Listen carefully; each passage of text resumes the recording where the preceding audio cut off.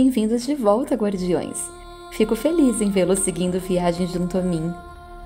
Para conhecermos o próximo reino, precisamos mergulhar fundo, pois a princesa que o rege é uma abissal. O reino de Indira é envolto em mistérios e lendas, mas seu coração é justo e bondoso. Pode mergulhar sem medo. Princesa Indira rege águas escuras e gélidas, e seu palácio é feito de ouro e pedras preciosas. A cauda de Indira reflete a bioluminescência da fauna de seu reino, o que a faz brilhar como moedas douradas ao sol. Por fim, nadamos em direção ao quarto reino. Sua princesa regente é bem popular e tem um fascínio imensurável pelo mundo terrestre.